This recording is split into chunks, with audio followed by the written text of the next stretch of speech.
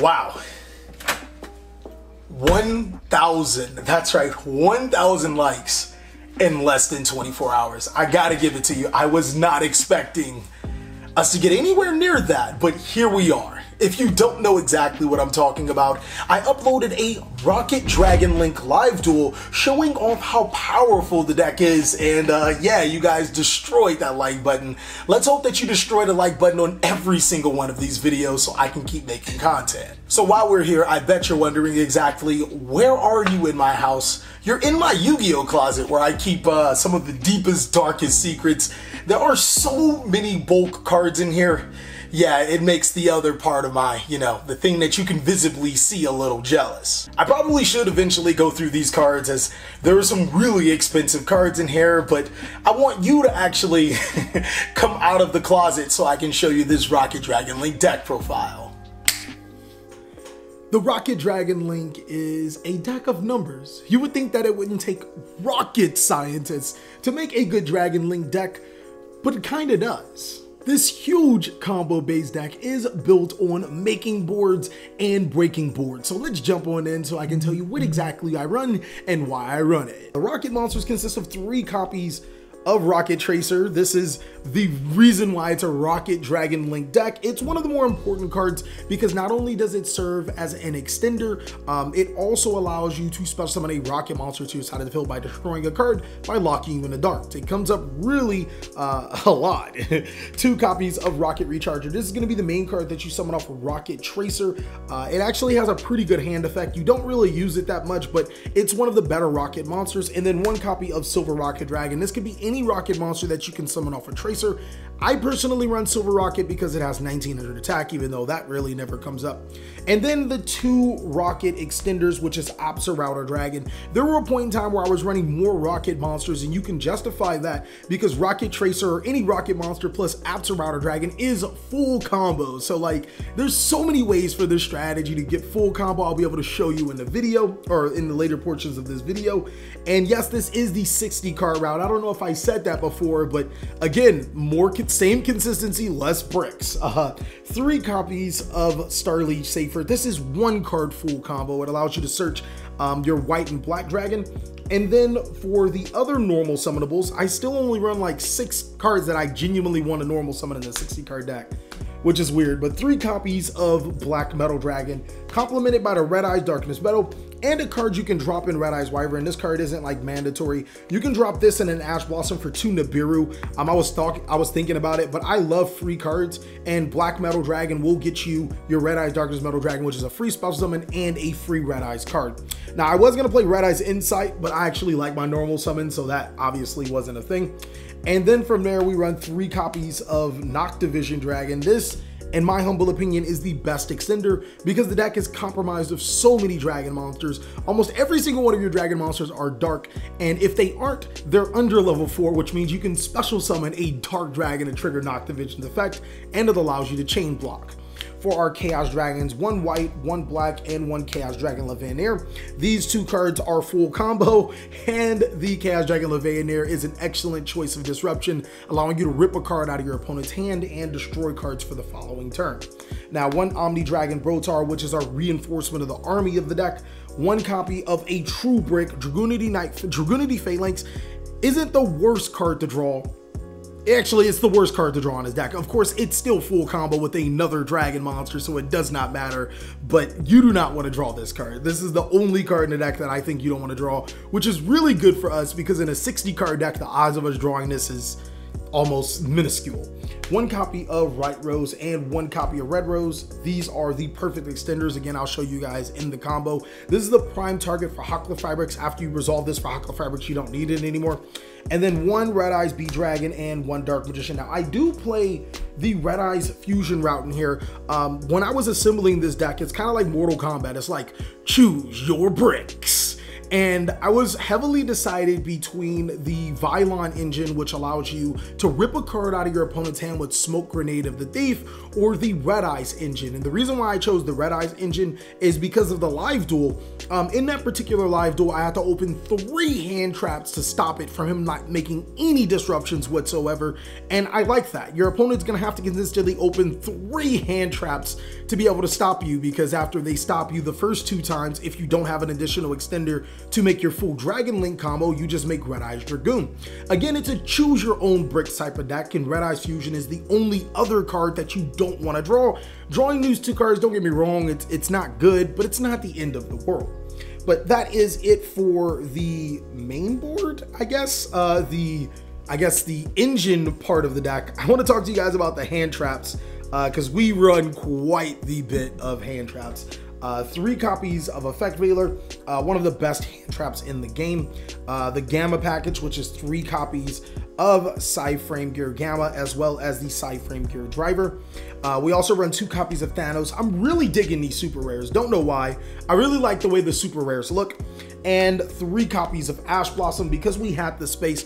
I was going to make this Nibiru if the Dragon Link or play more players start playing uh, Dragon Link. I will drop Ash for Nibiru. I don't think Ash is a bad card. It's just not better than Nibiru if everybody's playing Dragon Link. This does nothing for them. Uh, two copies of Ghost Ogre and Snow Rabbit. This card's really strong in this format because it gets rid of uh, face-up cards. And three copies of Infinite Impermanence. That is a whopping, I think it's 16 hand traps in this deck. Um, and statistically, I think there was an 80% chance that I would open anywhere between one and four hand traps, which is phenomenal, especially when you're playing a deck that makes one card full combos and you have four hand traps on top of the negation board.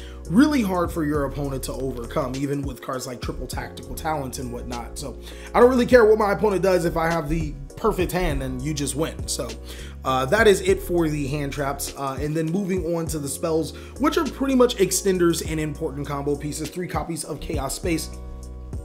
Um, I ran the numbers, and if you run 20 copies of the same card, uh, you will have an over 80% chance of opening one through four of them, which is ridiculous. I think we run a good 20 I want to say 22 copies of full combo. So like the odds of us opening full combo one through four times is just phenomenal. It's like it's almost guaranteed to happen. And if our opponent does doesn't hand trap us at the right spots, which there are no right spots depending on our hand, then you know we still have full combo. Uh, two copies of Boot Sector Launch. I thought that this was great at two. Excellent follow up. Really good card to have. And when you do draw one, your Striker Dragon basically just searches a discard. Uh, two copies of Quick Launch, or three copies of Quick Launch, my apologies. This card is Bananas, it's your extender. Uh, three copies of World Legacy Guard Dragon, just another extender. Uh, basically, you guys are going to hear me say extender a lot because I'll show you in the combo how the deck gets deadly. One copy of Dragon Ravine, one copy of Divine Lance, one Monster Reborn, and one one for one. All of these are extenders. The Dragunity Knight Divine Lance is part of the combo, as you guys can see, but that is it for the main board. Uh, moving on to the extra deck, I actually have it all the way over here, so. so for the extra deck, there is some cards if you are on a budget that uh, you don't necessarily have to play. Cards that I want to talk to you guys about is the Predaplant engine. You don't necessarily have to play this. Uh, you can substitute the Dark Magician cards uh, and the Red Eyes Fusion and whatnot for Unexpected Dies and Dragon Monsters. And you can take these two out for a Scarlight Red Dragon Archfiend and a Borrelsword or Borreload Dragon. And, you know, you're pretty much budget. I mean, because I don't think there's really any any more super expensive cards other than Infinite Impermanence, uh, you guys can play Forbidden Chalice or whatever instead of that. But moving on to the extra deck, one Apollousa, one Heretic Seal, uh, one Protector. Well, this is actually the card I was talking about my budget video. If you guys want to see a budget Rokket deck profile, still good inside of this format, go ahead and check out this video. But Protector, well, uh, one copy of Dragoon Knight Romulus, Halqifibrax. Oh, and it also doesn't run the Halqifibrax engine. One Striker Dragon, one LP, one Pisty, one Link Cross, one Borrelsword, one Herald, one Martial Metal Marcher, one Predaplant Vert, and one Red Eyes Dragoon. That is it for the main board and the extra deck. Now I can show you the spice of this deck within the combos. Okay guys, so in this part of the combo tutorial, I'm going to show you how one card is going to equal quite a few disruptions and you are going to have two cards additionally in your hand, which is really, really crazy how good this Dragon Link uh, strategy operates. What you're going to do is normal summon your Black Metal Dragon, then use your Black Metal Dragon for a Link summon into your Striker Dragon. The effect of Black Metal and Striker Dragon's effects will both trigger. I'll use Striker Dragon as Chain Link 1, will add the Boot Sector launch and the Red Eyes Darkness Metal. From there, I'm going to banish the Striker Dragon to special summon Red Med to my side of the field, and then use that effect to special summon back to the side of the field, using both of these monsters for another Link summon into our Dragunity Knight Romulus. And here I'm going to actually chain block the Romulus from being Ash Blossom and Joyous Spring. Black Metal Dragon is going to be Chain Link 2. Romulus is going to be Chain Link 1, which will allow me to add my Divine Lance and my Red Eyes Wyvern from my deck to my hand. I'll activate the Dragunity Knight Divine Lance, which will allow me to equip the Dragunity Phalanx, and then Phalanx will special summon itself to the side of the field using Dragunity Knight Romulus for a Link summon. We're going to go ahead and make Link Cross, which will allow us to special summon two tokens to our side of the field. A token plus the Dragunity Knight Phalanx will be used for a Synchro summon right into your Martial Metal Marcher, Marcher will special summon back the Dragunity Knight Phalanx to my side of the field, and then we'll use the Martial Metal and the Link Cross for a Link summon into my Crystron Halqifibrax. Halqifibrax effect will, Halqifibrax, however you want to say this card's name, will special summon Red Rose Dragon, and now the token plus Red Rose Dragon will be used for a Synchro summon into Herald of Arc Light. At this point in time, our opponent just can't hand trap us. They probably would have hand trapped us on Martial Metal Marcher's summon, um, which is perfectly fine. If they would have Nibiru'd us, we would have had a monster. And depending on our certain extenders, we can still go Guard Dragon, and Pisty. We have not invested any part of our combos other than a normal summon into this entire sequence. And this is what makes Dragon Link so powerful. But because I use Red Rose for a Synchro summon, I'll be able to special summon White Rose to my side of the field and I'll use both White Rose and Dragunity Knight Phalanx for Link summons. It really depends on the particular situation, but since I don't have extenders, I'll make Striker Dragon and Guard Dragon LP. I'll use the effect of Guard Dragon LP, seeing that I have no rokket monsters in hand right now. I'll special summon an Router Dragon to my side of the field. And now LP plus Halqifibrax can be used for a Link summon into Protector Whelp. And right here is where you can use all four monsters for an additional Link summon into your Apollousa Bow of the Goddess since you are no longer restricted to summoning dragon monsters. But I prefer to use Protector Whelp and Router Dragon for a Link summon into Heretic Seal of Heavenly Spheres. Activate the effect of your Router Dragon to add Rokket Tracer from your deck to your hand. And now Boot Sector can special summon Rokket Tracer. Rokket Tracer will destroy Boot Sector. Special summon Silver Rokket these two monsters for a synchro summon into your Borreload Savage Dragon, and Savage will equip the Halqifibrax. We can also use the effect of our Striker Dragon destroying itself to add the Rokket Tracer from our graveyard to our hand, and that is immediately going to provide us another summon, probably Vetaplant for Anaconda, um, which could make our Dragoon, or if you guys are playing a more Synchro Monster, Scarlight Red Dragon Archfiend. But in one card combo, we actually have a really good board. We have double Omni Negate with Borreload, Savage Dragon, Herald of Arclight. We have another Disruption with Heretic Seal of Heavenly Spheres, which will tribute itself to probably special summon the Omni Dragon Brotar, discarding our free Red Eyes Wyvern to either add a hand trap in Thanos from our deck to our hand, or it can add Chaos Dragon Levianeer, which, I mean, if you ask me, that's really strong that one card actually got us this much combo piece, and that we have four other cards with an 80% chance of having at least one hand trap. That's too strong. The next combo I want to show you is if you already have means to Rokket Tracer in your hand or maybe a uh, quick launch or an Router Dragon, however maybe, if you already have Rokket Tracer in your hand and don't need access to this card, then your combo line does become a different. I'm going to use Starliege Seyfert this time around just because it's another way to show you whole combos. So we're going to go ahead and Seyfert into a black, banish the Seyfert to summon black, and then black link off to Striker Dragon triggering the effect of Striker will add the Boot Sector launch and Black will add the white. Now we're gonna banish the black to summon white to our side of the field, and then we're gonna use Striker Dragon and white for a link summon. Summoning Dragunity Knight Romulus. Romulus effect will add a Dragunity Knight Divine Lance. Lance on the Romulus. Uh, Dragunity Knight Phalanx. Phalanx to summon itself, and now Romulus for a Link summon. Summon Link Cross to your side of the field. Bring two tokens. You guys are already starting to see our normal combo piece. This can be done with any two dragons, so uh, as long as you have one dragon and an additional extender, you can do this exact same combo, so no worries. It's the reason why the deck is so consistent. So Link Cross plus the Martial Metal Marcher for the Crystron Hulk, and Hulk's effect to summon the Red Rose, Red Rose plus the token.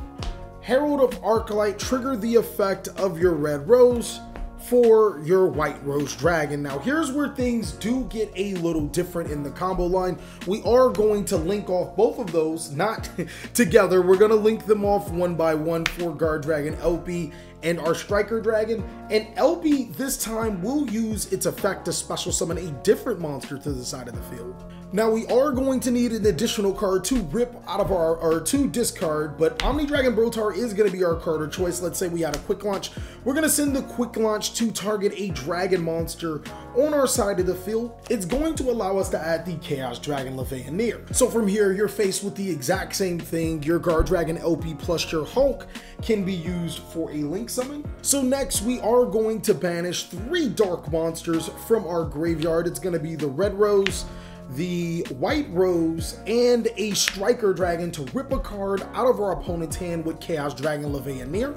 And now you guys have two routes depending on how you want to do it. You can link off the Striker Dragon and the Protector Whelp into your Heretic Seal, and then you can link off your Omni Dragon Brotar and your Chaos Dragon Levianeer into your Predaplant Vert Anaconda, or subsequently you could link off all four of those monsters into a four negation Of the Goddess. It depends on how you're feeling today. And lastly, you're going to follow it with Boot Sector launch, special summoning Rokket Tracer, Tracer destroying the Boot Sector launch, special summon a rokket monster to your side of the field, link off both the rokket tracer and the recharger to a Borreload Savage Dragon. Savage Dragon will equip the Crystron Hulk and Predaplant Vert Anaconda will activate. 2,000 life points will be used to fusion summon into Red Eyes Dark Dragoon. Again, this is not a mandatory piece. You could have a 4 Disruption Apollousa on your side of the field instead, but a Heretic Seal Dragoon, a Borreload Savage, and Herald of Arc Light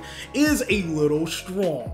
And just for reference, your Dark Magician and your Red Eyes would actually be banished due to the effect of Herald of Arclight. Not that it really mattered, but thank you guys so much for watching. I really hope you enjoyed this uh, Dragon Link deck profile. Really, really fun to do. Again, if you guys want to see a budget version of this profile, I actually have one up before the Forbidden Lids came out, and it's still viable. Also, be sure to check out the Dr Dragon Link live duel, and I'll be sure to post some, uh, probably some test hands on Patreon. So I'll catch you guys on the next video.